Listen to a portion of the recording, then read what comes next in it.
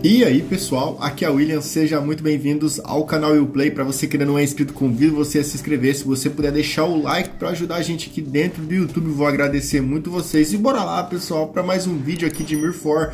Pessoal, dessa vez irei passar aqui um ponto que eu fiz uns vídeos aí anteriores falando sobre o, o pó brilhante e o elixir da vida. Falei sobre os dragões azuis, aquelas estátuas de dragões azuis Irei já mostrar para vocês aqui na prática. Pera aí, rapidão. É... Deixa eu aqui mostrar para vocês na prática aqui rapidão, porque eu tinha feito um vídeo aí anterior sobre um NPC aqui na cidade do Bichon que ele troca para vocês né, as suas estátuas, né, mano, azul, daquela do dragão azul, em troca de tipo pó brilhante, essas coisas assim. Aí depois veio comentários também naquele vídeo. E agora sim faz sentido uma coisa que eu esqueci de falar para vocês, muito importante, pessoal. Que eu falei sobre os pets, até peguei um pet épico aqui com a, o, a estátua de dragão vermelha, né, mano? E daí o que acontece? Tem essas partes aqui, pessoal, que tem essas caixas de pó brilhante, essas caixas de elixir da vida que você troca por estátua de dragão azul. Pessoal, vou dar um conselho aqui de ouro para vocês você ainda que tá começando aí, ou talvez você mais forte, mais experiente no jogo já saiba, né, mano? Mas é só para fortalecer esse ponto, porque eu também não prestei atenção nesse ponto. Aqui, pessoal, aconselho você pegar suas status, não troque tudo por pó brilhante daqui, troque por algum pouco, algum assim, algumas unidades talvez que você esteja precisando, mas foquem mais aqui no elixir da vida, pessoal foquem no Elixir da Vida, porque o Elixir da Vida você não vai conseguir através dos seus. Como é que chama aqui, ó?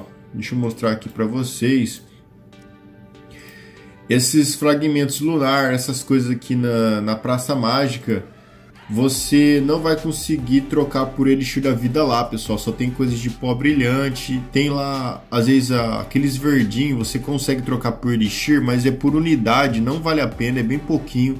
Então não é vantajoso, entendeu? Eu acho que a única fonte bem grande de você conseguir bastante aqui o, o Elixir da Vida é aqui no Dumping com as estátuas azuis, beleza? No pico, no pico desconhecido também pelas pedrinhas lá que você adquire, naqueles mercadores só vai ter pó brilhante também, pessoal. Não vi Elixir lá. Deixa eu ver aqui também se na loja do clã também vai ter aqui, deixa eu ver essas coisas de elixir, pra mim não tá, né, meio equivocado. Pessoal, também aqui não tem meu clã, também não tem porcaria nenhuma, quase. Pílula da Virtude, caixa de elixir da vida grande, deixa eu ver aqui.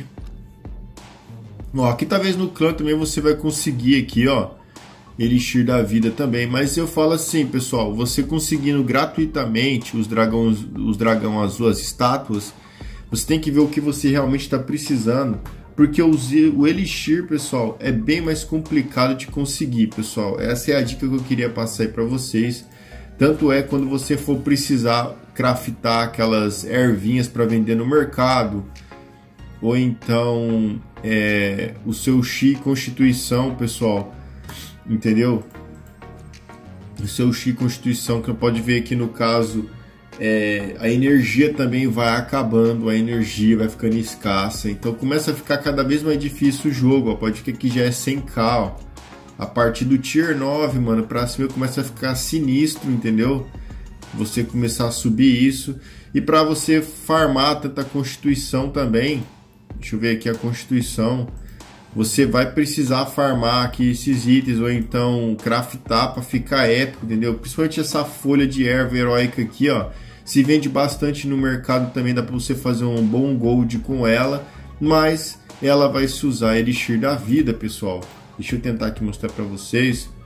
Pode ver, ó, se usa Elixir da vida para fazer ela, então, ó, pode ver que eu tenho só um pouquinho, então tô sempre a precisar de Elixir e fica bem complicado. No vídeo que eu fiz passado, eu fui lá no dump, troquei minhas estátuas tudo por pó brilhante, porque eu realmente estava precisando para craftar um item, mas aconselho a você ver certinho, analisar ou distribuir um pouco isso, porque o Elixir da Vida vai chegar uma hora que vai fazer falta, pessoal.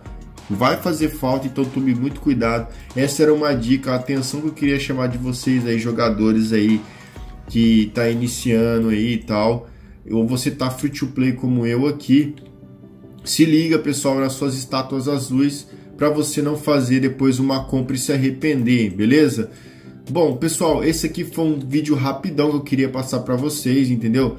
Para você que tá começando, você que tá aí começando, né, mano, a chegar nos níveis aí bem alto, né, nível 80 para cima, 90, é, vai se fazer falta o Elixir da vida, pessoal. Vai fazer. No início tem bastante, tem lá, parece que nunca mais vai acabar. Há tanta energia também, mas uma hora chega ao fim, beleza? Então, isso aí eu queria passar para vocês, pessoal. Caso vocês tenham alguma dúvida, deixe nos comentários. Ou você que queira acrescentar alguma coisa a mais nesse vídeo aqui, deixe também nos comentários. Tudo é válido aí.